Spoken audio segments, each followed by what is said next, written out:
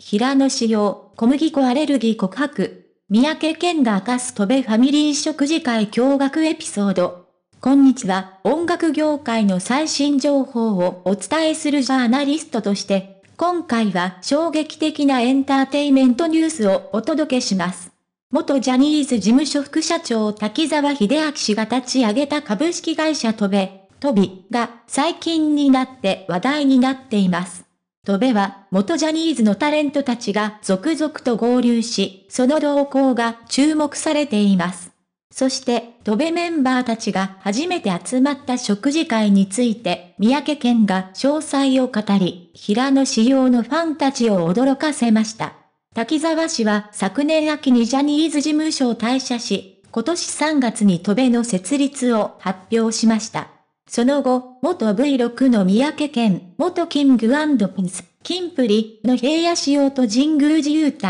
元ジャニーズ JR 内ユニットインパクト大勢のメンバー7人現在は、イムップとして活動、元 JR の大統立期も戸部の所属タレントとして加入しました。2023年8月20日、三宅は自身の X、旧ツイッター、アカウントで、こんにちはとべ勢揃いで初のご飯会何着ていこうかな、と投稿し、ファンたちはこの食事会に大いに期待しました。そして22日には、三宅が自身の YouTube チャンネルで生配信を行い、戸部ファミリーでの食事会について詳細を明かしました。三宅によると、彼の両サイドに神宮寺と平野が座り、三人を囲むようにイムップメンバーがずらりと並んでいたそうです。食事会では、タレントたちとスタッフは別々の円卓に配置され、中華料理が提供されたとのことです。驚きのエピソードとして、イムップの佐藤真が平野仕様に憧れて芸能界入りしたことが明かされました。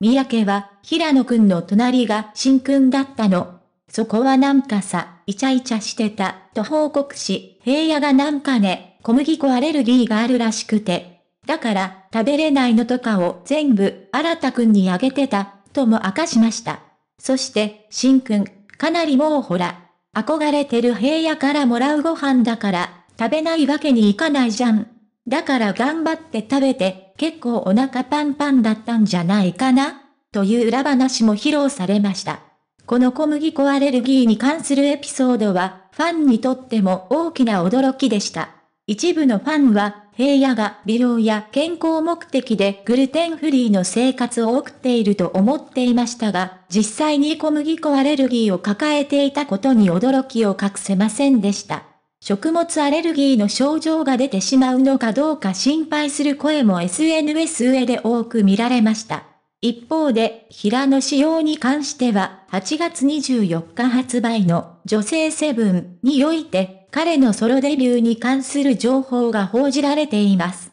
セブンによると渡米の食事会現場では、三宅、平野、神宮寺が会場を後にする様子や、滝沢氏の姿が激写されたとのことです。記事内では芸能関係者のコメントとして、滝沢さんの旗振りのもと、平野さんはソロ曲が完成してレコーディングも済んだようです。三宅さんもミュージックビデオの撮影が進んでいて、二人ともソロデビューが近いという情報が伝えられました。イムップがデジタルシングル、クルージンをリリースし、戸部からのデビュー第1号となりましたが、次に平野と三宅のどちらが続くのか、今後の戸部の動向が非常に注目されています。そして、今月末にはジャニーズ事務所から離れる北山博光や、9月末に退場後合流が確実視されている元金プリ岸優太など、戸部ファミリーの展望も気になるところです。戸部は、元ジャニーズメンバーたちが新たな舞台で活躍する場として注目を集めており、これからの彼らの活動に期待が高まっています。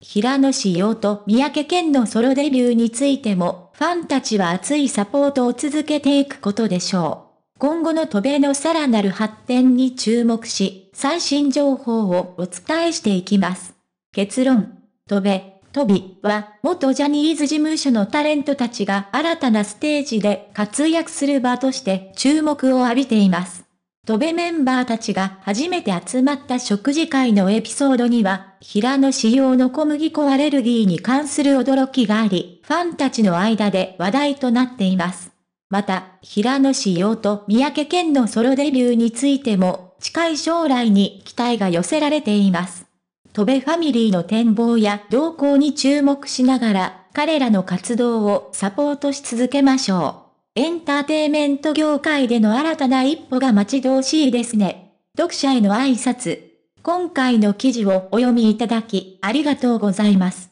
平野志陽や三宅県のファンの皆さん、トレに関心を持っている方々にとって、新たな情報をお伝えできたことを嬉しく思います。今後もエンターテイメント界の最新情報をお届けできるよう努力してまいりますので、どうぞよろしくお願い申し上げます。